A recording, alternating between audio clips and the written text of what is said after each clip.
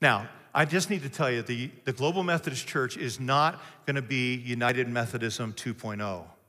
In fact, listen carefully.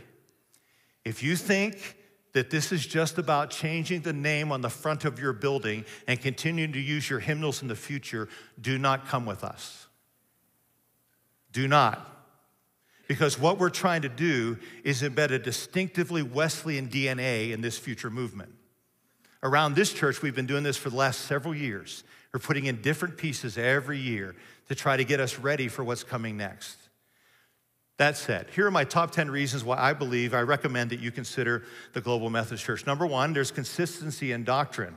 What we believe matters, and our doctrinal belief and practices are rooted in historic Christianity, which will keep us connected with and in step with the global Big C church.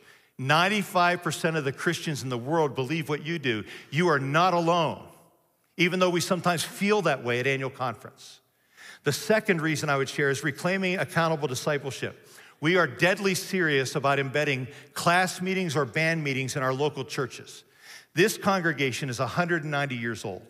It was started about a half a mile from here in a blacksmith shop along Blacklick Creek in Old Reynoldsburg as a class meeting for adults and a Sunday school to teach frontier kids how to read.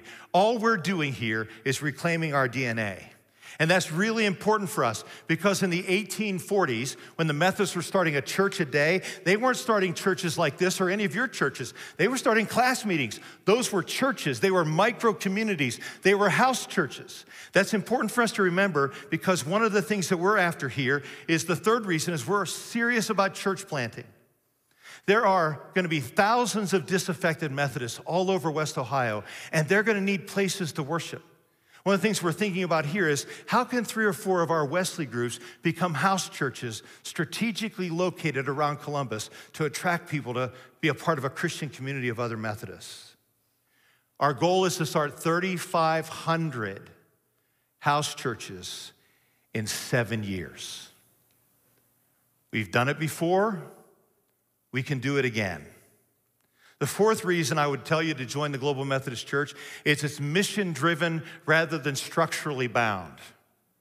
We presently have 13 general boards and agencies that are drowning in their own bureaucracy.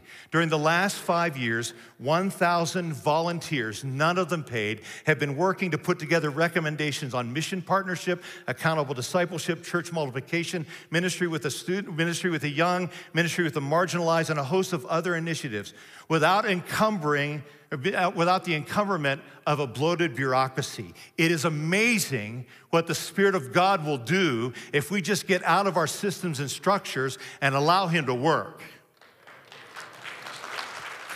The fifth reason I would recommend that you look at the Global Methodist Church is uh, we are going to redefine and term limit episcopacy.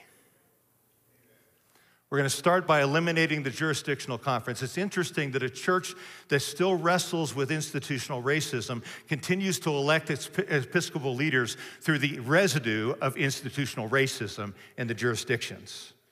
There will be no lifetime of episcopacy. And moving the bishops out, we're going to be moving the bishops out of institutional maintenance to reclaim the teaching office of the episcopacy so they are responsible for teaching and defending the faith. The sixth reason I would encourage you to do this is systematic accountability, systemic accountability.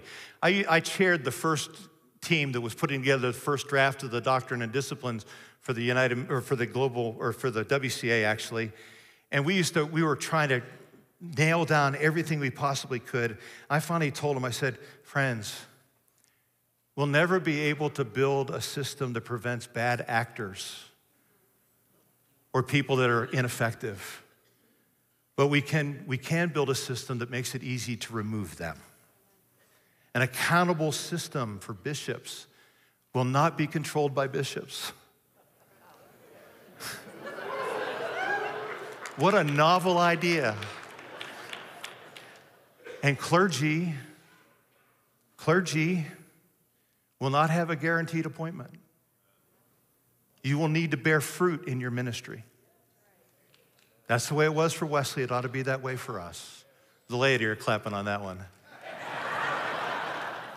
The seventh reason is we're going to have a lean bureaucracy, lower costs, and there will be no trust clause. We want to be a movement of the compelled, not constrained. You need to want to be a part of what we're doing here. We want you to be compelled to join with us and, and be a part of this movement. It'll be intentionally lean. Annual conferences will be much smaller. The global, uh, the, the, the general conference meeting will only happen every six years. We'll set a cap on apportionments. It'll start at 5%. You're paying 15% or more now because there are some things we better share together. And there's a cap at 10 that can only be, they can only be, the apportionments can only be raised by general conference action. Number eight, we'll have more congregational input on clergy selection. Gone will be the day when clergies and pastors are not consulted and engaged in, in clergy selection and assignment. In fact, the, the convening conference will be considering a modified call system to be implemented in the church. Number nine, there's an easier path to ordination. Can I get a witness from any local pastors in the room? Yeah, yeah. The present path can take up to 10 years. The proposed path allows ordination to happen much earlier. We believe that if you're if you're ready to pastor a church, we ought to have some way to be ordaining you into that church. And number 10, it's going to be global from day one.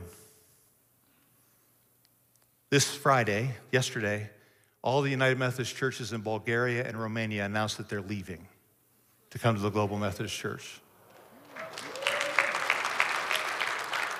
There are five annual conferences in, in Africa that have announced that they're leaving to affiliate with the Global Methodist Church. There are other uh, groups of pastors and churches and other annual conferences that are announcing that they're leaving to join the Global Methodist Church. We're also being contacted by churches in, in uh, Ecuador and in Venezuela and in Costa Rica and in the Caribbean, which the United Methodist Church has never been before because they want to be a part of this kind of a movement. We'll have churches from the Philippines. We will be global from day one, and that'll include American churches Central Texas Conference has figured out how to do this, and they have 125 churches that are leaving by May 1st to come and join the Global Methodist Church.